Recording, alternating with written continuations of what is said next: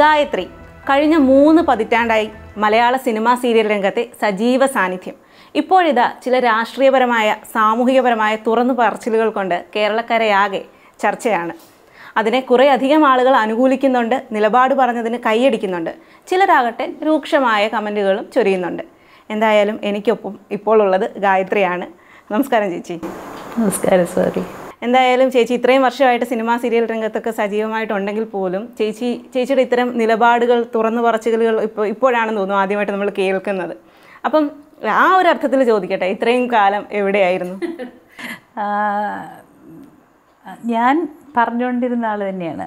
പറഞ്ഞുകൊണ്ടിരുന്ന വെച്ചാൽ എട്ട് എട്ട് വയസ്സ് മുതൽ ബാലസംഘം മുതൽ തുടങ്ങിയത്. Balasangham S F I D Y F I എന്ന് പറഞ്ഞ് തന്നെ വന്നതാണ് അപ്പം അതുകൊണ്ട് തന്നെ ഓരോരോ ഘട്ടങ്ങളിലും കോളേജ് കലാലയ രാഷ്ട്രീയത്തിലും ഒക്കെ സജീവം. പിന്നെ ആ സമയമൊന്നും നമ്മൾ ഇതുപോലെ വിഷ്വൽ സോഷ്യൽ മീഡിയകളൊന്നും അങ്ങനെയൊന്നും ഇല്ലല്ലോ. ഇപ്പം ഇപ്പം ഒരു കോളേജിലെ ഒരു കുട്ടി എന്ത് പറഞ്ഞാലും അതൊക്കെ ചിലപ്പം ഇങ്ങനെ അങ്ങ് വരും. ഇത് എല്ലാം ഇങ്ങനെ നോക്കിയിരിക്കുന്ന ഒരു സൈബർ യുഗം എന്നുള്ളത് കൊണ്ടാണ് അങ്ങനെ ഒരു വലിയ അറ്റാക്ക് എനിക്കൊന്നും അത് കുറച്ച് രൂക്ഷമായ രീതിയിലായിരുന്നു എന്ന് തോന്നുന്നു.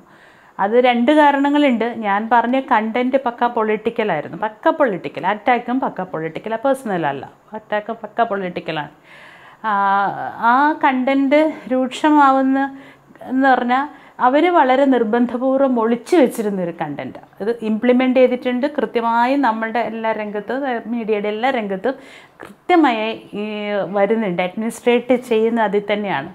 പക്ഷെ വളരെ സൂക്ഷ്മമായിട്ട് ഒളിപ്പിച്ചു വെച്ചിരുന്നൊരു സാധനം പുറത്തെടുത്തിട്ടു എന്ന് പറയുന്നൊരു വലിയ പാതകമാണല്ലോ അത്. അതാണ് സംഭവിച്ചത്. പക്ഷേ എനിക്ക് വളരെ സന്തോഷം. കാരണം നമ്മളുടെ മീഡിയ ഉൾപ്പെടെ മീഡിയ ഉൾപ്പെടെ എല്ലാവരും ഇത് സംസാരിക്കേണ്ട ഒരു വിഷയമാണ് എന്നുള്ളൊരു തുറന്നു പറച്ചിലുകൾ ഉൾപ്പെടെ ഉണ്ടായിട്ടുണ്ട്. ഞാനല്ല തുറന്നു പറഞ്ഞത്.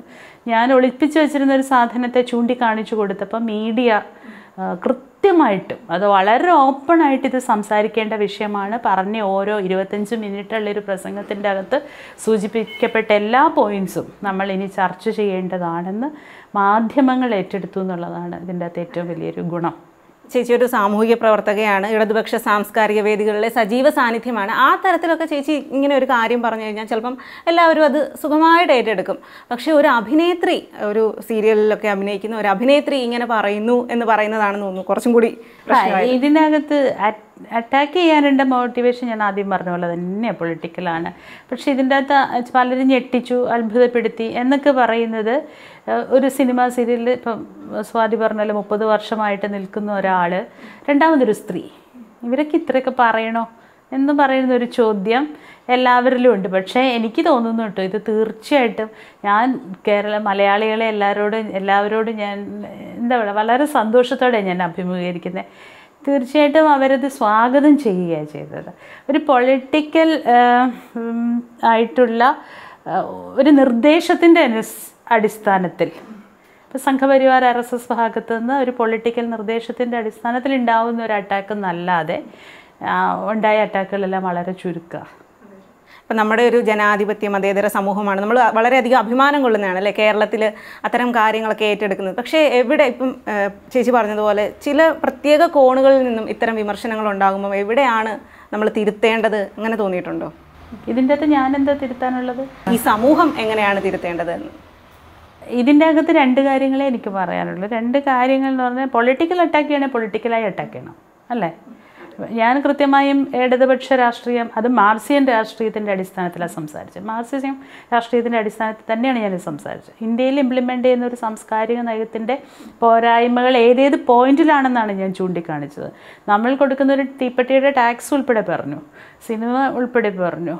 മറ്റെല്ലാ മേഖലകളിലും വെച്ചിട്ടാണ് പറഞ്ഞത് പക്ഷെ ഞാൻ അഞ്ച് മിനിറ്റ് പോലും പരാമർശിക്കാത്ത സെൻസേഷണൽ ആയിട്ടൊരു സീരിയലിലെ ഒട്ടും പ്രസക്തമല്ലാത്ത ഈ രണ്ടായിരത്തി പതിനാലിന് ശേഷമുണ്ടായ മാറ്റങ്ങളുടെ ഒരു കാര്യത്തെ വിമർശിക്കാൻ നേരത്തെ ഉണ്ടായിരുന്ന സീരിയലിൽ മൊല്ലാക്കി ഉണ്ടായിരുന്നു പള്ളിയിലച്ഛൻ ഉണ്ടായിരുന്നു എന്നൊക്കെ പറയുന്ന രീതിയിലേക്ക് ഒറ്റപ്പെട്ട എന്തെങ്കിലും ഒരു കഥാപാത്രത്തേക്ക് എടുത്തിട്ട് പറഞ്ഞു. അപ്പം നമ്മളൊരു കാര്യം വിമർശിക്കുമ്പോൾ ഇപ്പോൾ സ്വാതി പറഞ്ഞ് എവിടെയാണ് തിരുത്തേണ്ടതെന്ന് ചോദിക്കുമ്പോൾ രാഷ്ട്രീയപരമായും സാമൂഹ്യപരമായ ഒരു കാര്യത്തിൽ നമുക്ക് വിമർശിക്കാം. അഭിപ്രായ അഭിപ്രായ വ്യത്യാസങ്ങൾ പറയാം.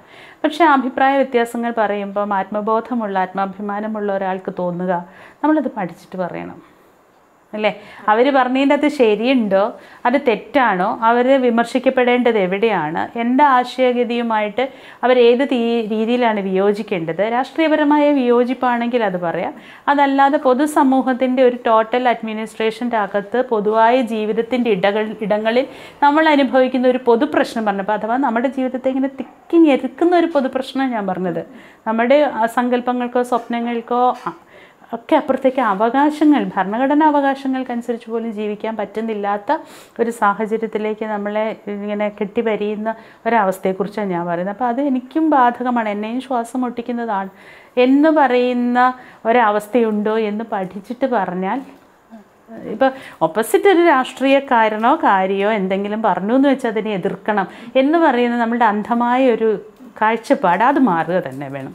ഞാൻ ശരി പറഞ്ഞതിനെ ഉൾക്കൊള്ളണം ഞാൻ തെറ്റ് പറഞ്ഞതിനെ വിമർശിക്കുക പക്ഷേ ആ വിമർശനത്തിൽ പോലും ഒരു പ്രതിപക്ഷ ബഹുമാനം ഉണ്ടാവാം. അല്ലെങ്കിൽ സ്വയം വിമർശനം എന്ന് പറയുന്ന ഏറ്റവും വലിയ കാര്യം എന്ന് പറയുന്നവരാണ് മാർക്സിസ്റ്റുകാർ. വിമർശനത്തോടൊപ്പം സ്വയം വിമർശനം ഉണ്ടാവണം എന്ന് പറയുന്നത്. അപ്പോൾ ഈ ഇങ്ങനെ പറഞ്ഞവരൊക്കെ ഇനിയെങ്കിലും ഒന്ന് സ്വയം വിമർശനാത്മകമായി പരിശോധിക്കണം. ആ പറഞ്ഞതിന്റെ ശരി തെറ്റുകൾ. ചേച്ചി സംസാരിക്കുമ്പോൾ ഞാൻ ശ്രദ്ധിക്കുകയായിരുന്നു വളരെ മൂർച്ചയുള്ള വാക്കുകളും ശക്തമായ പദപ്രയോഗങ്ങളുമാണ് ഉപയോഗിക്കുന്നത്. ഞാൻ ഞാൻ ആങ്കർ ചെയ്യുന്ന സമയത്ത് മറ്റേ അകത്തളം പ്രോഗ്രാം ആങ്കർ ചെയ്യുന്ന സമയത്ത് വലിയ അന്നത്തെ എന്റെ സീനിയേഴ്സൊക്കെ എന്നോട് പറഞ്ഞിട്ടുണ്ട് ഗായത്രി കുറച്ചുകൂടെ ആക്രമണ സ്വഭാവം ഉണ്ടാകാം ആങ്കർ ചെയ്യുന്നിടത്ത് നിന്നാണ് പറഞ്ഞിരിക്കുന്നത്. എന്ന് വെച്ചാൽ ഞാൻ എപ്പോഴും ചിരിച്ചുകൊണ്ട് ആങ്കർ ചെയ്യും അല്ല അങ്ങനെ പറയും. പിന്നെ വേറൊരു കാര്യം സ്വാതി സൂചിപ്പിച്ച എനിക്കൊന്നൊരു ഒക്കാബുലറി ആയിരിക്കും. ഞാൻ ഉപയോഗിക്കുന്ന ഭാഷയായിരിക്കാം. ഈ ഭാഷ തീർച്ചയായിട്ടും വായനയിൽ നിന്നുണ്ടാവുന്നതാണ്. ചെറിയ ഇപ്പോൾ കുട്ടിക്കാലം മുതൽ വായിക്കുക എന്ന് പറഞ്ഞൊരു ശീലമുണ്ട്. ഇപ്പോഴും എത്ര തിരക്കാണെങ്കിലും രാത്രിയിലൊക്കെ ഒരു പേജെങ്കിലും ഒരു ഏതെങ്കിലും ഒരു പുസ്തകത്തിന്റെ ഒരു പേജെങ്കിലും അല്ലെങ്കിൽ വീക്കിലിയുടെ ഒരു പേജെങ്കിലും പത്രം കൃത്യമായിട്ടും എന്ന് വായിച്ചിട്ടില്ലെങ്കിൽ എന്നെ എന്തോ ഒന്ന് അസ്വസ്ഥതപ്പെടുത്തുന്നുണ്ട് അതേപോലെ തന്നെ ബാലസംഘം മുതൽ ഇടതുപക്ഷ വിദ്യാർത്ഥി രാഷ്ട്രീയ രംഗത്തൊക്കെ പ്രവർത്തിച്ചു വന്ന ആ ഒരു പരിചയവും ഉണ്ടാവും അല്ലേ? അതുണ്ടാവും. തീർച്ചയായിട്ടും അതുണ്ടാവും. ഇപ്പം നമ്മൾ എന്നെന്നല്ല നമ്മൾക്കറിയാം നമ്മൾ ചുറ്റുവട്ടത്ത് സഖാവ് എന്ന് പറയുന്ന ഒരു ഒരു ബ്രാക്കറ്റിനകത്ത് ഉപയോഗിക്കുന്ന ഇപ്പം പൊതുവെ മാർക്സിസ്റ്റ് കമ്മ്യൂണിസ്റ്റ് പ്രവർത്തകരെയാണ് നമ്മൾ സഖാക്കൾ എന്ന് പൊതുവേ അങ്ങനെ പറയുന്നത്. ഇപ്പം ഡി വൈ എഫ് കുട്ടികളാണെങ്കിലും എസ് എഫ് ഐയുടെ കുട്ടികളാണെങ്കിലും ഒക്കെ നമ്മൾക്ക് ഒന്ന് ഒബ്സർവ് ചെയ്താൽ മനസ്സിലാകും. സഖാവ് എന്ന് പറയുന്ന കോ ബ്രാക്കറ്റിനകത്ത് വായനയുടെ ഒരു സപ്പോർട്ടുള്ളവർ തന്നെയാണ്. അതേപോലെ ഇപ്പം സീരിയൽ രംഗത്ത് തന്നെ ഒരുപാട് ആർജവമുള്ള സംസാരിക്കാൻ ശേഷിയുള്ള ആളുകൾ കാണുമായിരിക്കും. നമുക്കറിയില്ല. കാരണം പൊതുവെ അങ്ങനെ ആരും മുന്നോട്ട് വന്ന് ബോൾഡായിട്ട് സംസാരിക്കുന്നത് നമ്മൾ ഇതുവരെ കണ്ടിട്ടില്ല. അപ്പോൾ അങ്ങനെയുള്ള ആളുകൾ അതിനകത്തുണ്ടോ? അതിനകത്ത് പ്രവർത്തിച്ചു തീർച്ചയായിട്ടും ഉണ്ട്. തീർച്ചയായിട്ടും ഉണ്ട്. ഇതിനകത്ത് രണ്ട് കാര്യങ്ങളാണ്. പൊതു സമൂഹ ബോധ്യമുള്ള ഒരുപാട് കലാകാരന്മാരുണ്ട്. രാഷ്ട്രീയവും സാമൂഹികമായ കാര്യങ്ങൾ അപ് ടു ഡേറ്റ് ആയിട്ട് ഇപ്പം എന്നെപ്പോലും എന്നേക്കാൾ കൂടുതൽ അപ് ടു ഡേറ്റ് ആയിട്ടുള്ള ഒരുപാട് ആൾക്കാരുണ്ട്. ഒന്ന് അങ്ങനെ ഒരു വിഭാഗമുണ്ട്. ഒന്ന് അത്തരം ധാരണകളില്ലാതെ നല്ല സ്മാർട്ടായിട്ട് പെരുന്ന പെരുമാറുന്നവരുണ്ട്. ഇവർ രണ്ടുപേരും പക്ഷേ സംസാരിക്കാറില്ല. കാരണം എന്റെ പ്രശ്നം എന്ന് ചോദിച്ചാൽ ഇത് നമ്മളുടെ സാധ്യത അവസരങ്ങളെ തള്ളിക്കളയുന്നുണ്ട്. നമ്മളിപ്പോൾ ഒരു പ്രശ്നം കാരണം ഏറ്റവും അധികം ഞാൻ ഇതിന് മുമ്പ് വേറൊരു ഇന്റർവ്യൂവിലും സൂചിപ്പിച്ചു ഇനിയും ശക്തമായി തന്നെ എനിക്ക് പറയാൻ പറയ പറഞ്ഞേ പറ്റൂ എന്ന് പറയുന്ന ഒരു ഇടം തന്നെയാണ്. ഒരു ഒരു തരത്തിലുള്ള തൊഴിലവകാശ പൂർത്തീകരണങ്ങളുമില്ലാത്ത തൊഴിലവകാശങ്ങളെപ്പറ്റി ചോദിക്കാൻ പോലുമുള്ള സ്വാതന്ത്ര്യമില്ലാത്ത ഇടങ്ങളാണ് നമ്മളെല്ലാവരും വർക്ക് ചെയ്യുന്നത് ഇപ്പം നിങ്ങളുടെ വാർത്താ വിനിമയ മാധ്യമ രംഗങ്ങളാണെങ്കിലും നമ്മളുടെ എന്റർടൈൻമെന്റ് മാധ്യമ മേഖലകളാണെങ്കിലും ഒക്കെ അത്തരം സ്വാതന്ത്ര്യമില്ല. നമ്മൾ ചോദ്യം ചെയ്ത ഞാൻ അതേ ജോയിൻ ചെയ്തപ്പോഴുള്ള പൈസയിൽ ഇപ്പോഴും തരുന്ന മൂന്ന് വർഷത്തെ എക്സ്പീരിയൻസ് ആയി എനിക്ക് കുറച്ച് കൂട്ടി തരണം എന്ന് പറഞ്ഞാൽ പറയുമ്പോൾ പോയി വേറെ എവിടെയെങ്കിലും പണിയെടുത്തു എന്ന് പറയും അല്ലേ? അങ്ങനെ പറയും. ഇപ്പോൾ സിനിമയിൽ നോക്കുവാണെങ്കിൽ ഡബ്ല്യു സി സി പോലുള്ള സംഘടനകളുണ്ട്. സംഘടനകൾ രൂപീകരിച്ചിരുന്നു. അപ്പം അത്തരത്തിലുള്ള സംഘടനകൾ സീരിയലിലുണ്ടോ? അല്ലെങ്കിൽ ഈ ഡബ്ല്യു സി സി പോലുള്ള സംഘടനകളോടുള്ള ചേച്ചിയുടെ ഒരു നിലപാട് എങ്ങനെയാണ്?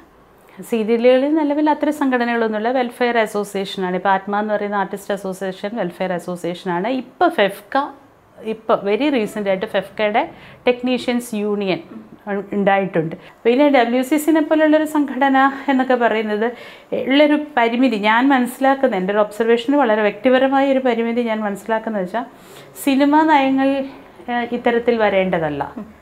സിനിമ കൃത്യമായും ടാക്സ് ഉള്ള ഒരു വ്യവസായ മേഖലയാണ്. അപ്പോൾ ആ വ്യവസായ മേഖല എന്നുള്ള അടിസ്ഥാനത്തിൽ സിനിമ ആ തരത്തിലുള്ളൊരു സർക്കാർ നയം വേറൊരു രീതിയിൽ തന്നെ വേണം. ഇത്ര അധികം എക്കണോമിക്കൽ ഫ്ലോ നടക്കുന്ന ഇത്ര വലിയ പൈസ മുടക്കിക്കൊണ്ട് നടക്കുന്ന പ്രോജക്റ്റുകൾക്ക് അതിന്റെ ലൈസൻസ് ഉൾപ്പെടെ അതിന്റെ സാങ്ഷൻ ഉൾപ്പെടെ സർക്കാരിന്റേതായിരിക്കണം. ഇപ്പോൾ പ്രൊഡ്യൂസേഴ്സ് അസോസിയേഷന്റെ ഒരു സാങ്ഷനിലാണല്ലോ പ്രോജക്റ്റ് അപ്രൂവ് ചെയ്യപ്പെടുകയും നടക്കുകയും ചെയ്യും അതല്ലാതെ സാങ്ഷൻ ഉൾപ്പെടെയുള്ള കാര്യങ്ങൾ സർക്കാരിന്റേതായി വരുന്ന വലിയ ഇപ്പം നമ്മളൊരു പത്ത് ലക്ഷം രൂപയോ അഞ്ച് ലക്ഷം രൂപയോ മുടക്കിയിട്ട് ഒരു സ്മോൾ സ്കെയിൽ ഇൻഡസ്ട്രി തുടങ്ങുവാണെങ്കിൽ അതിന്റെ സാങ്ഷനും ലൈസൻസും ഒക്കെ എവിടെ നിന്ന് എടുക്കുന്നത് ഗവൺമെന്റിൽ നിന്ന് എടുക്കുന്നത് അപ്പോൾ പത്ത് കോടിയോ നൂറ് കോടിയോ മുടക്ക് മുതലുള്ള അല്ലെങ്കിൽ ഒന്നോ രണ്ടോ കോടി മുടക്ക് മുതലുള്ള സിനിമയുടെ സാങ്ഷൻ അങ്ങനെ ഒരു പ്രോസസ്സ് ഇല്ല. അപ്പോൾ തന്നെ അതിന്റെ അകത്ത് ഒരുപാട് ബ്ലാക്ക് മണി ഫ്ലോ നടക്കും. അൺഅക്കൗണ്ടബിൾ ആയിട്ട് ഒരുപാട് പൈസയുടെ ക്രയവിക്രയം നടക്കും. അങ്ങനെ നിൽക്കുന്ന ഒരു മേഖല വളരെ പെരിഫറലായിട്ട് തൊഴിൽ അവകാശങ്ങളെ പറ്റി പറയുന്ന സംഘടന ഏതായാലും? ഡബ്ല്യു സി സിയോ എനി അതർ ഞാൻ ആരെയും കുറ്റം പറയല്ല. പക്ഷേ അത്തരം സംഘടനകൾ ഏതായാലും അതിന് ഡീപ് റൂട്ടഡ് ആയിട്ട് ഒരു ചലനവും സൃഷ്ടിക്കാൻ പറ്റില്ല. അങ്ങനെ പൊതുവായിട്ടൊരു കൃത്യമായ നയമില്ലാത്തൊരു മേഖല വന്നിട്ട് ഇപ്പോൾ തൽക്കാലം ഒരു ക്യാരവാൻ വേണം ഡ്രസ്സ് മാറാൻ സാധനം വേണം അല്ല ഒരു സൗകര്യം വേണം ഔട്ട്ഡോർ ഷൂട്ട് പോകുമ്പോൾ ഇന്ന ഫെസിലിറ്റി വേണം ചൂടത്തിരിക്കുമ്പം കൂളറുകൾ വെക്കണം ഇങ്ങനെയൊക്കെ പറയുന്ന അല്ല സ്ത്രീകളുടെ സംരക്ഷണത്തിന് വേണ്ടിയിട്ട് ഐ സി പോലെയുള്ള ചെറിയ തർക്കപരിഹാര സെല്ലുകൾ ഉണ്ടാവണം. വനിതാ കമ്മീഷൻ ചെറുതല്ല കേട്ടോ. ഞാൻ ചെറുതെന്നല്ല പറഞ്ഞു അങ്ങനെയല്ല ഉദ്ദേശിച്ചത്. അത്തരം താൽക്കാലിക ഇടപാടുകൾ നടക്കുന്ന സാധനങ്ങൾ ഉണ്ടാവും എന്നല്ലാതെ ഇൻഡസ്ട്രിക്ക് ഒരു പൊതു നയം സ്ട്രോങ് ആയിട്ട് ഇത്തരത്തിൽ ഉണ്ടായാൽ മാത്രമാണ് നമുക്ക് ആ അത്തരം സംഘടനകളുടെ നല്ല ഉദ്ദേശങ്ങളെ എഫക്റ്റീവായി ഇംപ്ലിമെന്റ് ചെയ്യാൻ കഴിയുള്ളൂ. ഇപ്പോൾ സിനിമയിലാണെങ്കിൽ കൃത്യമായ രാഷ്ട്രീയ ഇടതുപക്ഷ ഏത് ഏത് രാഷ്ട്രീയമാണെങ്കിലും ശരി കൃത്യമായ രാഷ്ട്രീയം പറയുന്ന ആളുകളുണ്ട്. ഇടതുപക്ഷ രാഷ്ട്രീയനോട് ചേർന്ന് പോകുന്ന ആഷിക് അബു അല്ലെങ്കിൽ രാജീവ് രവി അങ്ങനെയുള്ള ആളുകളുണ്ട്. അത്തരത്തിലുള്ള ആളുകൾ സീരിയലിലില്ലേ എനിക്കിങ്ങനെ പെട്ടെന്ന് ഓർത്തെടുക്കാൻ പറ്റുന്നില്ല നമ്മൾ ഒന്നിച്ചിരുന്ന് സംസാരിക്കുമ്പോഴും പെരുമാറുമ്പോഴൊക്കെ ഒരുപാട് ആൾക്കാരുണ്ട്. പ്രത്യേകിച്ചും കലാസാഹിത്യ രംഗങ്ങളിൽ എന്റെ ഞാൻ മനസ്സിലാക്കുന്നിടത്തോളം പ്രത്യേകിച്ചും കലാസാഹിത്യ ഉപജീവനമാക്കി മാറിയിട്ടുള്ള മാറ്റിയിട്ടുള്ളതിൽ എഴുപത്തഞ്ച് ശതമാനം ആൾക്കാരും ഇടതുപക്ഷം തന്നെയാണ്. ഇടതുപക്ഷമാണ്. കാരണം കലാകാരൻ എപ്പോഴും ഒരു വളരെ സോഫ്റ്റ് ആയിട്ടുള്ള ഒരു മനുഷ്യപക്ഷത്തെ ചിന്തിക്കാൻ പറ്റുള്ളൂ. ഈ മനുഷ്യ അങ്ങനെ ഒരു മനുഷ്യപക്ഷം എന്ന് പറയുന്നത് നമുക്ക് നമുക്ക് എല്ലാവർക്കും അറിയാം അല്ലേ? അത് നമ്മൾ ഇടതുപക്ഷം തന്നെയാണ് ചേർ ഹൃദയപക്ഷം ഇടതുപക്ഷം തന്നെയാണ് ചേർക്കാറുള്ളത്. അങ്ങനെ ഒരുപാട് ആൾക്കാരുണ്ട്. പക്ഷേ അതിനേക്കാൾ കൂടുതൽ എന്താ വെച്ചാൽ എന്റെ പ്രസംഗത്തിന്റെ ഒരു സാരാംശത്തിന്റെ ഏറ്റവും അതിന്റെ ബേസ് ആയിട്ടുള്ള ഒരു ആശയം എന്ന് പറയുന്നത് പണാധിപത്യം ഒരു ലോകം ഇത്. ഇത്രയധികം കൊമേഴ്ഷ്യലൈസ് ചെയ്യപ്പെട്ടേക്കുന്ന ഒരു ലോകത്ത് ഫുള്ളി കൺസ്യൂമറൈസ്ഡ് ആയിട്ടുള്ളൊരു കേരളത്തിൽ. നമ്മളൊരു കൺസ്യൂമർ സ്റ്റേറ്റാണ് അങ്ങനെ കൺസ്യൂമർ സ്റ്റേറ്റിൽ താമസിക്കുമ്പോൾ നമ്മളെല്ലാവരും സെൽഫ് സെന്റേഡ് ആകും. എന്റെ ജീവിതത്തിന് എനിക്ക് പണിയെടുത്തേ പറ്റൂ പൈസ ഉണ്ടാക്കിയേ പറ്റൂ. എത്ര കോടി കിട്ടിയാലും ആ കോടി നമ്മുടെ ലക്ഷറീനെ പിന്നെയും പിന്നെയും പിന്നെയും സ്കെയിൽ കയറ്റി കയറ്റി കയറ്റി കയറ്റി മീറ്റ് ചെയ്യിപ്പിക്കാൻ പറ്റാത്തത്ര മാർക്കറ്റിലേക്ക് ഇറങ്ങാൻ പറ്റുന്ന ഒരു സംവിധാനമുള്ളൊരു സ്റ്റേറ്റിലാണ് നമ്മൾ ജീവിക്കുന്നത്. അല്ലേ? നൂറ് കോടിയുള്ളവനും അവന്റെ വരവും ചിലവും നോക്കുമ്പം വരവ് കുറവും ചിലവ് കൂടുതലുമാണ് രണ്ടായിരം രൂപയുള്ളവനും ഓഫ് കോഴ്സ് വരവ് കുറവും ചിലവ് ആവശ്യങ്ങൾ കൂടുതലും ഇനി അങ്ങനെ ആവശ്യങ്ങളുള്ളപ്പോൾ ഇന്ന ആവശ്യങ്ങൾക്ക് മാർക്കറ്റിലേക്ക് ഇറങ്ങിയാൽ ഇനിയും കിടക്കുകയാണ് മാർക്കറ്റ് നമ്മളെ നമുക്ക് വേണ്ടി ഇങ്ങനെ ആഗ്രഹങ്ങളും ആർഭാടങ്ങളും അല്ലെ നമുക്കതൊക്കെ സാധാരണ ആവശ്യങ്ങളായി തോന്നും. അങ്ങനെ തോന്നുന്ന ഒരിടത്തിൽ തന്നെ മാർക്കറ്റ് കിടക്കുകയാണ് അപ്പോൾ എന്ത് ചെയ്യും? അപ്പോൾ നമ്മൾ എന്ത് ചെയ്യും? സ്വാഭാവികമായി എന്ത് ചെയ്യും? ഇടതുപക്ഷവും ഹൃദയപക്ഷവും എല്ലാം ഉണ്ട്. പക്ഷേ നമ്മൾക്ക് ചെറിയ സ്വാർത്ഥതകളിൽ മാത്രമേ ജീവിതം മുന്നോട്ട് പോവുള്ളൂ എന്ന് പറയുന്നൊരു സാമാന്യ ഇടമുണ്ട്. ഈ സാമാന്യ ഇടത്തിൽ ഘോരമായ ഒരു ഇത്തരത്തിലൊരു സാംസ്കാരിക നയവും വരുമ്പോഴുള്ളൊരു പ്രശ്നമാണ് ഞാൻ സൂചിപ്പിച്ചത്. ചേച്ചി മുൻപ് അഭിമുഖത്തിൽ പറഞ്ഞിട്ടുണ്ട്. അതായത് ഈ- ഇൻഡസ്ട്രിയിൽ നിന്ന് ചേച്ചിക്ക് സപ്പോർട്ട് ഇത്തരം സൈബർ ആക്രമണങ്ങളൊക്കെ വന്ന സമയത്ത് സപ്പോർട്ട് വളരെ കുറവായിരുന്നു. അതൊരിക്കലും അത്തരം സപ്പോർട്ട് പ്രതീക്ഷിച്ചിട്ടും ആയിരിക്കില്ലല്ലോ ചേച്ചി ഇപ്പം ചേച്ചിയുടെ നിലപാടുകൾ പറയുന്നത്. ഇനിയിപ്പോൾ എന്തെങ്കിലും അങ്ങനെ വന്നാൽ പോലും ഞാനതിനെ ആ, വളരെ പേഴ്സണലായിട്ടുള്ള ഒരു പാൻഡ് ഒരു ഒന്ന് തലോടലായിട്ട് മാത്രം എടുക്കാൻ ആഗ്രഹിക്കുന്ന ആളാണ്. അതൊരിക്കലും ഒരു നാളെ അവർക്ക് എന്തിനൊരു ദോഷം വരുത്തുന്നത് പിന്നെ മുഖമില്ലാത്ത ആളുകളായിരിക്കും കൂടുതലും ഈ സൈബർ ആക്രമണം അല്ലെങ്കിൽ ആ രീതിയിൽ വരുന്നത്. അല്ലാതെ നേരിട്ട് ആരും ഇല്ല ഇല്ല ഇല്ല. ഇതെല്ലാം നമുക്ക് ശ്രദ്ധിച്ചാൽ അറിയാം. സ്വാധീനം തീർച്ചയായിട്ടും എന്നെ ഇന്റർവ്യൂ ചെയ്യാൻ വരുമ്പോൾ കുറച്ചെങ്കിലുമൊക്കെ ശ്രദ്ധിച്ചിട്ടുണ്ടാവും. ശ്രദ്ധിച്ചാൽ അറിയാം. ഈവൻ ഈ അക്കൗണ്ടുകൾ പോലും ഒരു പ്രോപ്പർ ക്രെഡിറ്റ് ഉള്ളതല്ല. അല്ലേ? എന്റേത് എന്ന് പറയുന്ന ഒരു ക്രെഡിറ്റ് ബാനർ നമുക്ക് അവിടെ കാണാൻ പറ്റില്ല. അപ്പോൾ ഇത് അതൊരു പൊളിറ്റിക്കൽ മൂവായിരുന്നു ഞാൻ അതിനെ അതേ അർത്ഥത്തിൽ റെസ്പെക്റ്റ് ചെയ്യുന്നു. പക്ഷേ അങ്ങനെ പൊളിറ്റിക്കൽ മൂവ് വരുമ്പോൾ നമ്മൾ ഈ പറയുന്ന ശരിതെറ്റുകളുടെ ഇടം നമ്മൾ പരിശോധിക്കണം. നമ്മൾ ഈ ആർക്കെങ്കിലും വേണ്ടിയിട്ടൊരു പണിയെടുക്കുമ്പം ആ പണിയുടെ ഒരു മൂല്യം നമുക്ക് കിട്ടണ്ടേ? അല്ലെ നമ്മുടെ ആ വ്യക്തിത്വത്തെങ്കിലും അംഗീകരിക്കണ്ടേ? സീരിയൽ രംഗത്ത് നിന്ന് അല്ലെങ്കിൽ ഇൻഡസ്ട്രിയിൽ നിന്ന് തന്നെ ഒരുപാട് എതിർപ്പുകളും അവിടെ ഇവിടെയൊക്കെ ആയിട്ട് കേട്ടിരുന്നു. ചില ആളുകൾ എതിർത്ത് തന്നെ സംസാരിച്ചു. അപ്പോൾ അങ്ങനെയുള്ളതിനൊക്കെ എങ്ങനെയാണ് നേരിടുന്നത്? ചില ആളുകളുടെ ഒന്നും എനിക്ക് ശ്രദ്ധയിൽപ്പെട്ടില്ല. എനിക്ക് ഒരാളാണ് വളരെ ലൗഡായിട്ട് സംസാരിച്ചു വേറെ ആരും അങ്ങനെ ലൗഡായി സംസാരിച്ചില്ല. പക്ഷേ ആ ആൾ ലൗഡായിട്ട് സംസാരിക്കാനുള്ള കാരണം എന്നോടുള്ള വ്യക്തിവൈരാഗ്യമോ എന്റെ രാഷ്ട്രീയ നിലപാടിലുള്ള എതിർപ്പോ അല്ല എന്ന് എനിക്ക് നന്നായി അറിയാം. നന്നായി അറിയാം. എന്റെ അത് യാതൊരു തർക്കവുമില്ല. കാരണം എന്റെ ഏറ്റവും അടുത്ത ഏറ്റവും അടുത്ത സുഹൃത്തുക്കളാണ് അവർ ഏറ്റവും അടുത്തവരാണ്. കാലങ്ങളെ പണ്ടൊക്കെ ഞാനും ബീനയും കൂടെ അഭിനയിക്കാത്ത ഒരു സീരിയലും ഇല്ല. അത്ര ഞങ്ങൾ അടുപ്പമുള്ള കുടുംബമാണ്. മക്കൾ ഒരു സ്കൂളിലാണ് പഠിച്ചത്. തൃപ്പൂണിത്തുറയും വയറ്റിലായിട്ട് താമസിക്കുന്ന ഞങ്ങൾ എല്ലാ കാര്യങ്ങളിലും ഒന്നിച്ച് ഇടപെടുന്നവരാണ്. ഞാൻ എന്റെ ഒരു പുതിയ സംരംഭം പോലും ഏറ്റവും ആദ്യം വിളിച്ചു പറഞ്ഞ മനോജിനോടാണ്. അപ്പം മനോജോ മീനോ ഒന്നും ഒരിക്കലും എന്നെ ഉപദ്രവിക്കാൻ വേണ്ടിയിട്ട് എന്റെ രാഷ്ട്രീയം എപ്പോഴും പറയും ഗായത്രി നല്ല വൃത്തിയായി സംസാരിക്കുന്നു. ഗായത്രിയുടെ സംസാരം അങ്ങനെയാണെന്ന് എപ്പോഴും എന്നെ പേഴ്സണലി കോംപ്ലിമെന്റ് ചെയ്യുന്ന ആളാണ് മനോജ്. അപ്പോൾ താരോത്സവമൊക്കെ നടക്കുമ്പോൾ എല്ലാവരും പറയും ഗായത്രി ചേച്ചി മനോജ് മനോജേട്ടനും ഒരുപോലെ സംസാരിക്കുന്നത്. മനോജ് നല്ല നന്നായി ഭാഷ കൈകാര്യം നല്ല അക്ഷരങ്ങളെ നന്നായിട്ട് പ്രൊണൗൺസ് ചെയ്യും. നല്ല ഒക്കാബുലറി നല്ല ഒഴുക്കുമുണ്ട് മനോജിന്റെ സംസാരത്തിന്. അപ്പോൾ അങ്ങനെ എല്ലാവരും പറഞ്ഞുകൊണ്ടിരിക്കുമായിരുന്നു അപ്പോൾ അതുകൊണ്ട് തന്നെ എനിക്ക് നന്നായി അറിയാം മനോജ് എന്നെ ഉപദ്രവിക്കാനൊന്നും ഉണ്ടായ ഒരു രീതിയല്ല. പക്ഷെ മനോജിന്റെ ഒരു യൂട്യൂബ് ചാനലുണ്ട്. മനോജിന്റെ യൂട്യൂബ് ചാനൽ എല്ലാത്തിനോടും മനോജ് പ്രതികരിക്കുന്ന ആളാണ് ഇപ്പോൾ ഇവിടെ ഒരു സംഭവം ഉണ്ടായ രാഷ്ട്രീയ സാമൂഹ്യപരമായി നടന്നാലും തമാശ നടന്നാലും മറ്റേ നമ്മുടെ എന്താ ഏഷ്യാനെറ്റിലെ പ്രോഗ്രാം ഉണ്ടല്ലോ ബിഗ് ബോസ്. ബിഗ് ബോസിലെ ഓരോ ഇത് അല്ലേ അവലോകനങ്ങൾ ഇങ്ങനെ എല്ലാത്തിലും ഒരു ദിവസം ഒരു വീഡിയോ എങ്കിലും വെച്ചിട്ട് മനോജിന്റെ യൂട്യൂബിൽ നമ്മൾ കാണും. മനോജ് അത്രയേ ചെയ്തുള്ളൂ. പക്ഷെ മനോജ് ഈ ഇത്രയും വൈറലായി ഇത്രയും എല്ലാവരും ശ്രദ്ധിക്കുന്ന ഒരു സമയത്ത് എന്റെ ഫോട്ടോ ഉൾപ്പെടെ ഒരു തമ്മയിൽ വെച്ചിട്ട് അത് ചെയ്യുമ്പോൾ മനോജിന് കുറച്ച് പൈസ കിട്ടും അത്രയേ ഉള്ളൂ എന്റെ അകത്ത്. അതിനകത്ത് എനിക്ക് യാതൊരു വിരോധവുമില്ല. കാരണം മനോജിന്റെ ആ അക്കൗണ്ടിന്റെ താഴെ പോയിരിക്കുന്ന കമൻസുകളും ഒരുപാട് നെഗറ്റീവ് കമൻസ് എന്നെക്കുറിച്ച് വരുന്നുണ്ടെങ്കിലും മനോജിന്റെ ആ ഒരു നിലപാട് ശരിയല്ല എന്ന് പറയുന്ന കമൻസ് അതിനകത്ത് കൂടുതൽ വന്നു. അപ്പം നെഗറ്റീവ് പോസിറ്റീവ് കമൻസ് എന്നുള്ളതല്ല അതിന്റെ അകത്ത് മനോജും ഉദ്ദേശിച്ചത്.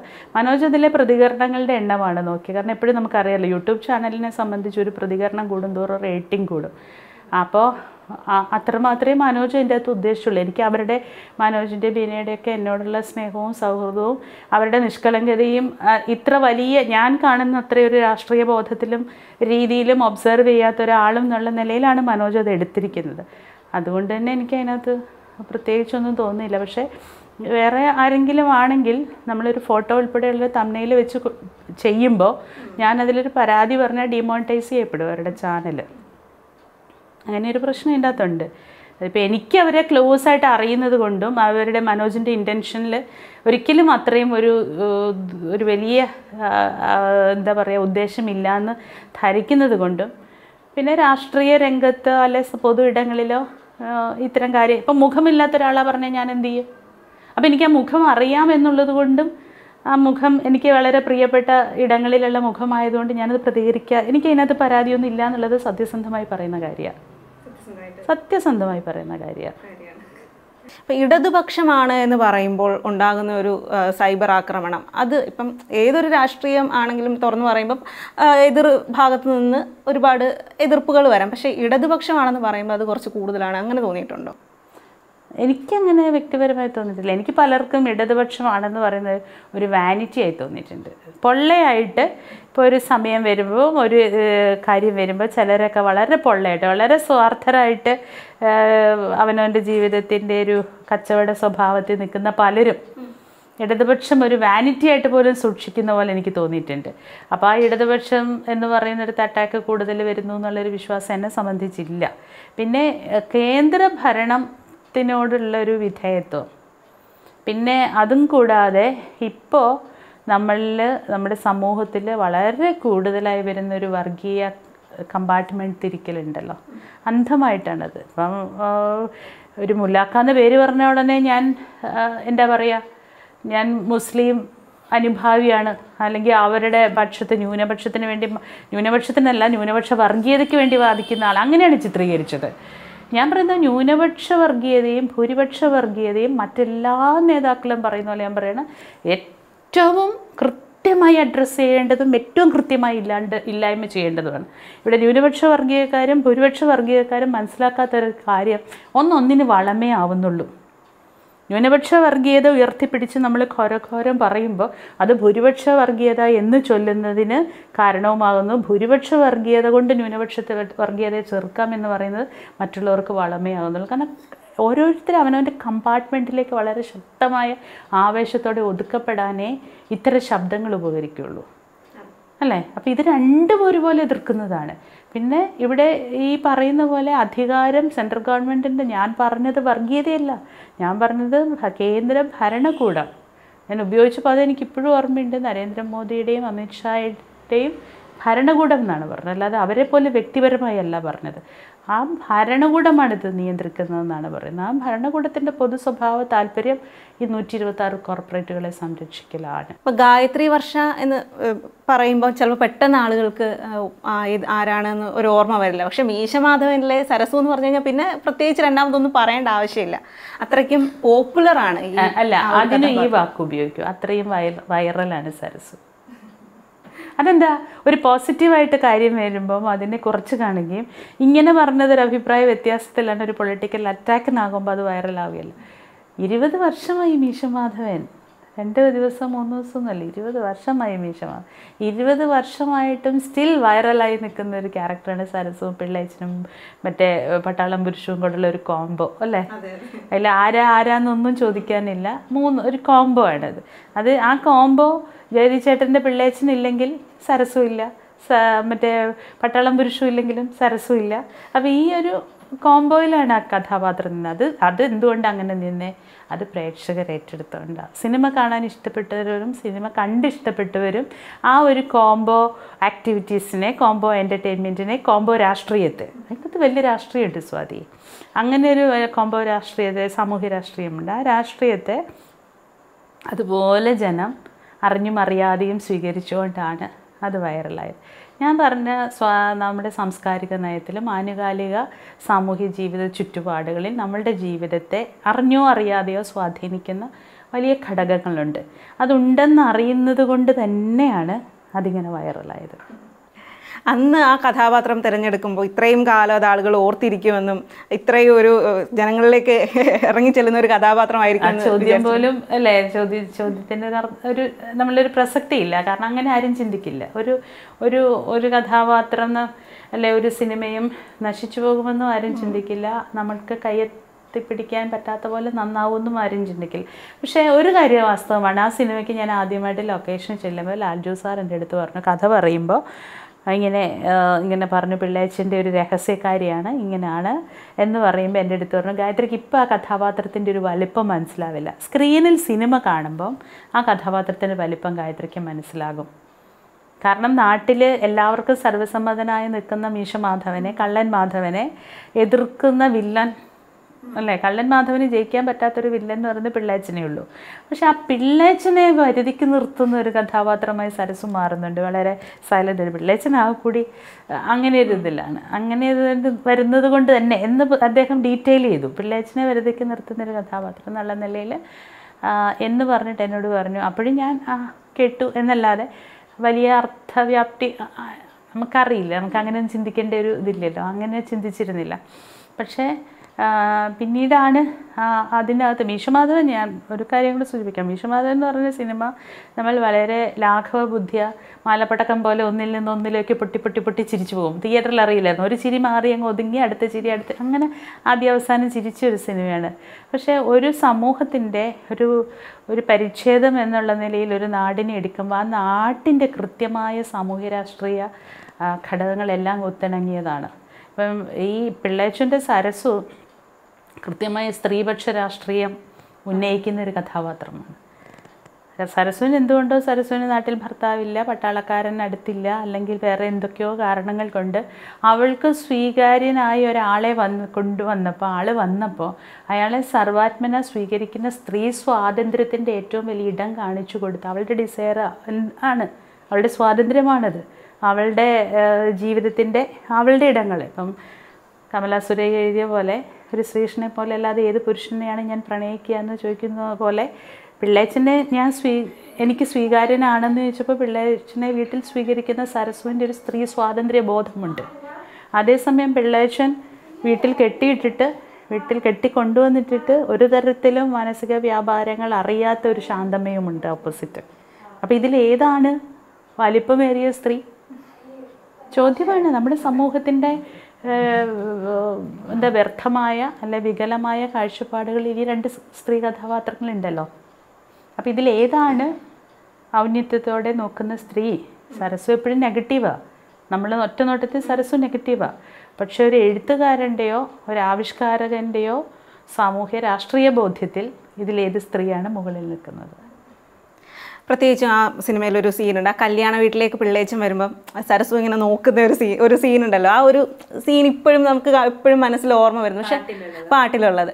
ആ ഒരു സ്റ്റില്ല് വെച്ചിട്ടാണ് ഇപ്പോൾ ചേച്ചിയെ സൈബർ ആക്രമണം നടത്താനും ആളുകൾ ഉപയോഗിക്കുന്നത്. ആ ആ സീൻ എന്നൊക്കെ പറഞ്ഞൊരു ക്ലാസിക് സീനായിട്ട് നമ്മൾ ചിന്തിക്കുന്നതാണ്. പക്ഷേ ആ സ്റ്റില്ല് വെച്ചിട്ടാണ് ഇത്തരത്തിലുള്ള അധിക്ഷേപങ്ങളും വരുന്നത്. ആ സിനിമ റിലീസാകുമ്പോൾ സ്വാതിക്ക് എത്ര വയസ്സുണ്ട്? എനിക്ക് ഞാൻ വയസ്സ്. വളരെ ചെറുതാണ്. വളരെ ചെറുതാണ്. കുട്ടിയാണ് കുട്ടിയെ കുട്ടിയാണ്. കാരണം അന്ന് അതുകൊണ്ട് ആ കഥാപാത്രത്തിന്റെ വ്യാപ്തിയോ ഒന്നും മനസ്സിലായിട്ടില്ല. ഇപ്പോഴാണ് നമുക്കത് മനസ്സിലാവുന്നത്. ഇത് രസമതല്ല അതിന്റെ അകത്ത് വളരെ ഒരു കാര്യമുണ്ട്. ഈ ഞാൻ ആ ഷൂട്ടിംഗ് നടക്കുമ്പോൾ രണ്ട് ദിവസം പാട്ട് പ്ലാൻ ചെയ്തത് അപ്പോൾ രണ്ട് ദിവസത്തിൽ ആദ്യത്തെ ദിവസം എന്തോ ഹർത്താലായിപ്പോയി. അപ്പം അന്ന് ഷൂട്ട് നടന്നില്ല. പിന്നെ കൊറിയോഗ്രാഫർ ഉൾപ്പെടെയുള്ളവർക്ക് പിറ്റേ ദിവസത്തെ വർക്ക് കഴിഞ്ഞാൽ പിന്നെ മദ്രാസിൽ പോകണം ഡേറ്റ് കാര്യങ്ങളെല്ലാം പ്രശ്നം. അപ്പോൾ ഒരു ഒരു പാട്ടിൽ വരുന്ന വലിയ ക്രൗഡ് ഉണ്ടല്ലോ. അതിൽ വലിയ സന്നാഹങ്ങളുണ്ട്. അപ്പോൾ ഈ സന്നാഹങ്ങളെല്ലാം ഒറ്റ ദിവസം കൊണ്ട് പാട്ടെടുത്ത് തീർക്കണം. ഒരു ദിവസമേ ഉള്ളൂ പാട്ടിന് വേണ്ടി. അങ്ങനെ ആ ഒരു ദിവസം കൊണ്ടാണ് ആ പെണ്ണെ പെണ്ണെ കല്യാണമായി എന്ന് പറയുന്ന പാട്ട് ചിത്രീകരിച്ചത്. അപ്പോൾ അതിന്റെ പ്രധാന കോം മെയിൻ ഷോട്ടുകളെല്ലാം കമ്പൈൻ ഷോട്ടുകളെല്ലാം ഒന്നിച്ചെടുത്തിട്ട് അവസാനം ക്ലോസ് ക്ലോസ് ക്ലോസ് അങ്ങനെയാണ് എടുത്തത്. ഓരോ ആർട്ടിസ്റ്റിനെ ക്ലോസ്. അപ്പോൾ ഓരോരുത്തരുടെ ഹൈറാർക്കി എന്താ പറയുക അനുസരിച്ചിട്ടുള്ള സീരിയൽ നമ്പർ വന്നപ്പോഴത്തേക്ക് ഞാനൊക്കെ ആ ഏറ്റവും അവസാനത്താണ് ആദ്യം ജയചേട്ടന്റെ അടുത്തോട് പിന്നെ ദിലീപേട്ടന്റെ ഒടുവിൽ അങ്കിളിന്റെ അടുത്തോട് അങ്ങനെ നമ്മളുടെ പ്രോട്ടോക്കോൾ ഉണ്ടല്ലോ സിനിമയ്ക്ക് ഭയങ്കരമായിട്ട്. അങ്ങനെ പ്രോട്ടോക്കോൾ അടിസ്ഥാനത്തിൽ വന്നു കഴിഞ്ഞപ്പോൾ എന്റെ ഷോട്ടിന്റെ സമയം എന്ന് പറഞ്ഞാൽ രാത്രി രണ്ടര മണിയാണ്. അപ്പോൾ ഈ രാത്രി രണ്ടര മണിക്ക് എടുക്കുമ്പോൾ അതുവരെ നമ്മൾ ലൈവായി നിന്നവരല്ല. കാരണം മെയിൻ ഷോട്ട്സ് ഡേ ആണ്. ഡേയിൽ പാട്ട് കിടക്കുന്ന ഡേയിൽ അപ്പോൾ ഡേ എഫക്റ്റ് എല്ലാം കഴിഞ്ഞ് എടുത്ത് കഴിഞ്ഞിട്ട് പിന്നെ പോയിട്ട് രാത്രി ലൈറ്റൊക്കെ വെച്ച് ഇങ്ങനെ ക്ലോസ് എടുക്കുമ്പോൾ ഞാനൊക്കെ കിടന്ന് ഉറങ്ങി കഴിഞ്ഞിട്ട് ഉറക്കത്തിൽ നിന്ന് എഴുന്നേറ്റ് വന്നിട്ടാണ്. അപ്പോൾ ലാൽജു സാറിന് ഗായത്രി അവിടെ പിള്ളേച്ചൻ നിൽക്കുന്നുണ്ട്. ഇവിടെ പുരുഷുണ്ട് അപ്പോൾ പുരുഷു കാണാതെ പിള്ളേച്ചനെ നോക്കി ചിരിക്കണം. അപ്പോൾ പുരുഷനെ നോക്കണം പിള്ളേച്ചനെ നോക്കണം. എന്നിട്ട് പിള്ളേച്ചനെ ചിരിച്ച് കാണിക്കണം. എന്ന് പറഞ്ഞാൽ റെഡി ടേക്ക് എന്ന് പറഞ്ഞ് ക്യാമറ ഓൺ ചെയ്ത് ഒറ്റ ടേക്കിൽ എടുത്തൊരു ഷോട്ടാണത് പക്ഷെ ആ ഷോട്ടിന്റെ ആയുസ് ഇരുപത് വർഷമാണ്. അതൊരു വലിയ ഇതാണല്ലോ. അതെ ഒരു അംഗീകാരമാണ്. അങ്ങനെ ആ തരത്തിൽ സ്വാതി തന്നെ അറിയാതെ ഉപയോഗിച്ചൊരു പദം ആ കഥാപാത്രവും ആ സിറ്റുവേഷനൊക്കെ ക്ലാസിക്കായി എന്നാണ്. അതൊക്കെ ഒരു ഒരു പോസിറ്റീവ് ഫ്ലോ ആണ്. പോസിറ്റീവ് ഫ്ലോ ആണ്. ഇപ്പം സീരിയലുകളിലില്ലേ സജീവമല്ലേ? ഇങ്ങനെയാണ്. ഇപ്പം സീരിയൽ ഇപ്പം സുധാമണി സൂപ്പറാണെന്ന് പറഞ്ഞ സീരിയൽ വരെയാണ് ഞാൻ സജീവമായി അഭിനയിച്ചുകൊണ്ടിരുന്നു സീരിയലുകളിൽ സജീവമായി തന്നെ നിൽക്കാമെന്നുള്ളത് തന്നെയായിരുന്നു എന്റെ ഒരു ഇപ്പം തിരുവനന്തപുരത്താണ് താമസം. തിരുവനന്തപുരത്തേക്ക് ഒരു വർഷം മുമ്പ് താമസം മാറുമ്പോഴും അങ്ങനെയാണ് തീരുമാനിച്ചത്. പക്ഷെ കൂടുതൽ സജീവമായി വരുമ്പോൾ രണ്ടായിരത്തി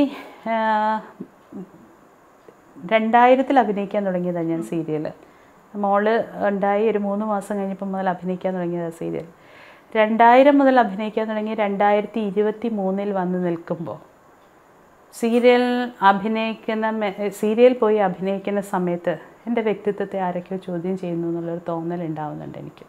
വളരെ സങ്കടപൂർവമാണ് പറയുന്നത്. വളരെ സങ്കടപൂർവമാണ് പറയുന്നത്. എന്റെ അവകാശങ്ങളെ ചോദ്യം ചെയ്യുന്നു. തൊഴിലെടുക്കാനുള്ള എന്റെ സ്വാതന്ത്ര്യത്തെ ചോദ്യം ചെയ്യും. തൊഴിലെടുത്ത് നമ്മളൊരു അടിമയെ പോലെ അഭിപ്രായ സ്വാതന്ത്ര്യമില്ലാത്തവരെ പോലെ വന്നു നിന്ന് പണിയെടുക്കേണ്ടി വരുന്നു എന്ന് പറയുന്നു. കൃത്യമായ ഡിസേർവ് ചെയ്യുന്ന ശമ്പളമോ മറ്റ് ആനുകൂല്യങ്ങളോ ഭക്ഷണമോ സൗകര്യങ്ങളോ ഇല്ലാത്ത പോലെ തൊഴിലെടുക്കേണ്ടി വരുന്നു. എന്ന് പറയുന്ന ഒരു തോന്നലിന്റെ അവസാനത്തെ ആ ഒരു തോന്നലിന്റെ അവസാനത്തെ ആണിയടിച്ചതാണ് സുധാമണി സൂപ്പറാണെന്ന് പറയുന്ന സീരിയലിൽ തൊഴിലാളികൾക്ക് വേണ്ടിയിട്ട് തൊഴിലാളി ശരിയാണെന്ന് പറഞ്ഞ് ഫെഫ്ക യൂണിയന്റെ കൂടെ നിന്നതിന്റെ പേരിൽ നെക്സ്റ്റ് ഷെഡ്യൂളായപ്പോൾ ഞാനല്ലാതെ വേറൊരാൾ വന്ന കഥാപാത്രം അഭിനയിച്ചത്. അതുകൊണ്ട് തൽക്കാലം എനിക്ക് സീരിയൽ അഭിനയിക്കാനുള്ള മാനസിക ബുദ്ധിമുട്ടുണ്ട്. മറ്റു വലിയ വരുമാനങ്ങളുണ്ടോ എന്ന് ചോദിച്ചാൽ വലിയ വരുമാനങ്ങളൊന്നും ഇല്ല. പക്ഷേ അതിനേക്കാൾ കുറച്ചുകൂടി ഒരു ആത്മബോധമുണ്ട്. അത് തെറ്റാണെങ്കിൽ എന്റെ സുഹൃത്തുക്കൾ പലരും അത് തെറ്റാണെന്നൊക്കെ പറയുന്നുണ്ട്. പക്ഷെ തെറ്റാണെങ്കിൽ ആ തെറ്റും കൂടി ഉള്ളതാണ് ഞാൻ. ഇപ്പം ചേച്ചി നേരത്തെ പറഞ്ഞു അതായത് ഇടതുപക്ഷ സാംസ്കാരിക വേദികളിൽ സജീവ സാന്നിധ്യമാണ് പുരോഗമന കലാസാഹിത്യ സംഘം പോലുള്ള സംഘടനയിലെ അംഗമാണ്. അപ്പം ഇനി ഒരു തിരഞ്ഞെടുപ്പ് രാഷ്ട്രീയത്തിലേക്ക് അല്ലെങ്കിൽ ഒരു സംഘടനാ രാഷ്ട്രീയത്തിലേക്ക് പ്രവേശിക്കുമോ? അങ്ങനെ എന്തെങ്കിലും ലക്ഷ്യമുണ്ടോ? തീരുമാനമുണ്ടോ? ഇല്ല അല്ലെങ്കിൽ ഓഫറുണ്ടോ അയ്യോ ഇങ്ങനെയൊക്കെ പറയാതെ. എന്താ അറിയോ? നമുക്കെല്ലാവർക്കും ഉള്ള തെറ്റിദ്ധാരണയാണിത്. രാഷ്ട്രീയം എന്ന് പറഞ്ഞാൽ കക്ഷി രാഷ്ട്രീയമെന്നും കക്ഷി രാഷ്ട്രീയ പ്രവർത്തനങ്ങളിൽ എവിടെയെങ്കിലും ഉണ്ടായിപ്പോയാൽ അത് പാർലമെന്ററി രാഷ്ട്രീയമെന്നുമുള്ളൊരു തെറ്റിദ്ധാരണ നമുക്കുണ്ട്. അതിനേക്കാളൊക്കെ സുന്ദരമായ ഒരുപാട് സാമൂഹ്യ രാഷ്ട്രീയ പ്രവർത്തനങ്ങളുടെ ഇടങ്ങളുണ്ട്. അല്ലേ? ആ ഇടങ്ങളെ ഇഷ്ടപ്പെടുന്ന ഒരാളാണ് ഞാൻ. നല്ലൊരു കവിത കേൾക്കുന്ന പോലെ നല്ലൊരു പാട്ട് കേൾക്കുന്ന പോലെ നല്ലൊരു സാമൂഹ്യ അന്തരീക്ഷത്തിന്റെ ശ്രുതി മധുരമായ ഒരു താളത്തിനെ ഇഷ്ടപ്പെടുന്ന ആളാണ് ഞാൻ. അതിനകത്ത് പാർലമെന്ററി സംവിധാനം ഇപ്പോൾ നമ്മുടെ സാമൂഹ്യ സെറ്റപ്പിൽ വ്യവസ്ഥിതിയിൽ ജനാധിപത്യ ഒരു ജനകീയ ജനാധിപത്യ വ്യവസ്ഥിതിയിൽ അതൊരു അനിവാര്യതയാണെങ്കിൽ പോലും അതാണ് ആത്യന്തികമായി എന്ന് വിശ്വസിക്കുന്ന ആളല്ല ഞാൻ. അതിനപ്പുറത്തേക്കുള്ളൊരു സാമൂഹ്യ പ്രവർത്തനവും രാഷ്ട്രീയ കാഴ്ചപ്പാടുകളും ഉണ്ട് എന്ന് കരുതുന്ന കൂട്ടത്തിൽ അതുകൊണ്ട് അത്തരം ഒരു ചോദ്യം അപ്രസക്തമാണ്. ചോദ്യം അപ്രസക്തമാണ്. അല്ലെങ്കിൽ എനിക്ക് അങ്ങനെ ഒരു ഉത്തരത്തിനുള്ളൊരു അറിവില്ലായ്മയുണ്ട്. അത്രയേ ഉള്ളൂ. സീരിയൽ രംഗത്ത് തന്നെ അടുത്തിടെ ആത്മഹത്യകൾ ഒന്ന് രണ്ട് സ്ത്രീ താരങ്ങൾ ആത്മഹത്യ ചെയ്തു. അതൊക്കെ വളരെയധികം ചർച്ചയായിരുന്നു. അപ്പം ആ ഒരു രംഗത്ത് പ്രവർത്തിച്ചിരുന്ന ഒരു വ്യക്തി എന്നുള്ള നിലയിൽ അതിനെക്കുറിച്ച് എന്താണ് പറയാനുള്ളത്? അത് നേരത്തെ നമ്മൾ സൂചിപ്പിച്ചു പോയി. കാരണം ഒരു പ്രതീക്ഷയുമില്ലാത്ത രണ്ട് വർഷവും കൂട്ടിമുട്ടിക്കാൻ പറ്റുന്ന വരുമാനം കിട്ടാത്ത തൊഴിൽ സുരക്ഷയില്ലാത്ത നാളെ പണി ഉണ്ടാകുമെന്നുള്ള ഉറപ്പില്ലാത്ത ദൈനംദിന ഭക്ഷണം പോലും മര്യാദയ്ക്ക് ഉണ്ടാവാത്ത ആരോഗ്യ സംരക്ഷണ എയ്ഡുകളില്ലാത്ത നന്നായി ടോയ്ലറ്റിൽ പോകാനുള്ള സൗകര്യം ഇല്ല. രാവിലെ ചെന്ന് ഇതുപോലെ പണിയെടുക്കുമ്പോൾ വൃത്തിയുള്ളൊരു ടോയ്ലറ്റ് ഇല്ല. ഒരു പത്ത് ദിവസം ഒന്നിച്ച് ചിലപ്പോൾ ചില ലൊക്കേഷനുകളിൽ പോയി പണിയെടുത്താൽ യൂറിനറി ഇൻഫെക്ഷൻ എല്ലാ സ്ത്രീകൾക്കും ഉണ്ടാവുന്നുണ്ട്. പിന്നെ മറ്റ് പ്രഷറോ മറ്റ് പ്രശ്നങ്ങളോ ഒക്കെ ഉണ്ടെങ്കിൽ അതിനനുസരിച്ചിട്ട് നാരങ്ങ വെള്ളമോ വെള്ളമോ ഒക്കെ ഫ്രീക്വന്റ് നമ്മൾ ചാനലുകളിൽ ചെയ്യുന്ന പോലെ ഒന്നുമില്ല. ഫ്രീക്വന്റ് ആയിട്ട് ജ്യൂസോ കാര്യങ്ങളോ അത്തരം സപ്പോർട്ടിങ് സിസ്റ്റം ഒന്നും ഈ ഇത്തരം സീരിയലുകൾ സിനിമയിലുണ്ട് ഓഫ് കോഴ്സ് സീരിയലിൽ അത്തരം സപ്പോർട്ടൊന്നുമില്ല കാരണം ഒരു എപ്പിസോഡിന് ഒരു ലക്ഷം രൂപയോ ഒരു ലക്ഷത്തി ഇരുപതിനായിരം രൂപയോ മാത്രം കിട്ടുന്ന ഒരിടത്ത് ഒരു ഒരു പ്രൊഡ്യൂസർക്കും ഇന്നത്തെ കാലത്ത് അതിൽ കൂടുതൽ ഫെസിലിറ്റി പ്രൊവൈഡ് ചെയ്യാൻ പറ്റില്ല. അപ്പോൾ അങ്ങനെ ഒരാൾ ജീവിക്കുമ്പോൾ കുടുംബാന്തരീക്ഷം മോശമാകും. തീർച്ചയായിട്ടും മോശമാകും. വീട്ടിൽ നിന്ന് പൂർണമായി മാറി നിൽക്കുകയും വീട്ടിൽ സാമ്പത്തികപരമായി അവരുടെ ആബ്സൻസിനെ ഏതെങ്കിലും തരത്തിൽ പരിഹരിക്കാൻ പറ്റുന്ന ഒരു മെയ്ഡിനെയോ അല്ലെ അച്ഛനമ്മമാരെയോ ആരെയെങ്കിലും വീട്ടിലെ കുഞ്ഞിനും ഹസ്ബൻഡിനും അല്ലെ വീട്ടിലെ കാര്യങ്ങൾക്കും അവർ അവനവന്റെ കർത്തവ്യം. ഇപ്പോൾ ഈക്വലി സ്ത്രീയും പുരുഷനും ഒരുപോലെ വീടിന്റെ ചുമതലകൾ എടുക്കണം എന്ന് പറയുമ്പോൾ ചുമതലയുണ്ടല്ലോ. അപ്പോൾ ആ ചുമതലകൾക്ക് പര്യാപ്തമാകുന്ന രീതിയിലേക്ക് നമ്മളുടെ ഒരു സാമ്പത്തിക സ്രോതസ്സോ സാമൂഹ്യ അന്തരീക്ഷമോ ആരോഗ്യ കാര്യങ്ങളിലോ നമ്മളെ സപ്പോർട്ട് ചെയ്യുന്നില്ല എന്ന് പറയുമ്പോൾ പലതരത്തിലുള്ള താളപ്പിഴകൾ കുടുംബത്തിനകത്ത് വരും. ഇതിൽ നിന്നാണ് ഇത്തരം ഒളിച്ചോട്ടങ്ങൾ ഉണ്ടാവുന്നത്. പ്രത്യേകിച്ച് ആർട്ടിസ്റ്റുകൾ എന്ന് പറയുന്നവരുടെ ഒരു മാനസിക നില നമ്മൾ മനസ്സിലാക്കണം. ഭയങ്കര സെൻസിറ്റീവാണ് ഒരാകെ ഒരു കലാകാരനാണോ അയാളുടെ മനസ്സ് ഒരു ഇറഗുലർ സൈക്കോളജിയാണ് ഇറഗുലർ എന്ന് പറഞ്ഞാൽ ഭ്രാന്ത് എന്നല്ല. അതിന് ഹൈറ്റും ഇപ്പോൾ ഒന്ന് നിൽക്കുന്നതിൽ നിന്ന് മേലെ ആയാലും താഴെ ആയാലും ലെഫ്റ്റ് ആയാലും റൈറ്റ് ആയാലും അത് ഇറഗുലറാണ് അല്ലേ? അപ്പോൾ അഡീഷണൽ ചില സ്വഭാവവിശേഷങ്ങൾ കിട്ടുമ്പോൾ ഔട്ട്സ്റ്റാൻഡിങ് ആയിട്ടുള്ള ചില ക്വാളിറ്റീസ് കിട്ടുമ്പോൾ അതൊരു ഇറഗുലാരിറ്റിയാണ് ശരിക്കും. അപ്പം നമുക്ക് സ്വാർത്ഥരാവാനും അല്ലെ മറ്റൊരാളെ തള്ളി പറയാനും മറ്റൊരാളുടെ മുമ്പിൽ താഴാനും ഒക്കെ അഭിമാനക്കുറവും ഒക്കെ വരുന്ന ഒരു കലാകാരന്റെ ഹൃദയത്തെക്കാൾ ത- കലാകാരന്റെ മാനസിക നില സൈക്കോളജി കുറച്ച് സെൻസിറ്റീവാണ് ഈ സെൻസിറ്റീവ് ആയിട്ടുള്ള തലങ്ങളിൽ ഒരുപാട് വേദനിക്കുമ്പോൾ പെട്ടെന്ന് ഉണ്ടാകുന്ന ഒരു ആക്ഷനാണ് അത്. ഒരുപക്ഷെ അന്നേരം ഒരു ഫോൺ വന്നാൽ അല്ലെങ്കിൽ അന്നേരം ആരെങ്കിലും ഒന്ന് കൂട്ടിച്ചേർത്ത് നിർത്താൻ എട്ടിപ്പിടിച്ച് ഉമ്മ കൊടുക്കാൻ ഒന്ന് ചേർത്ത് ബാ നമുക്കൊന്ന് പുറത്ത് പോകാൻ ഭക്ഷണം കഴിച്ചിട്ട് വരാൻ എന്ന് പറഞ്ഞാൽ തീരുന്ന ഒരു തോന്നലായിരിക്കും അത്. പക്ഷേ ആ ആ ഒരു ഇറഗുലർ സെൻസിറ്റിവിറ്റിയുടെ സമയത്ത് മുമ്പിൽ കാണുന്ന ഇരുട്ടുള്ള ജീവിതത്തിന് ഒന്നും ഒന്നും പ്രതീക്ഷയില്ലാതെ നിൽക്കുമ്പോൾ ചിലപ്പോൾ ഇങ്ങനെയൊക്കെ ചെയ്തു പോകും. വളരെയധികം നന്ദി. ചേച്ചി ഇത്ര സമയം നമുക്കൊപ്പം ചെലവഴിച്ചതിന്. താങ്ക് യു സ്വാതി ഞാൻ റിപ്പോർട്ടറിന്റെ എല്ലാ സുഹൃത്തുക്കൾക്കും പ്രേക്ഷകർക്കും എന്റെ നന്ദി.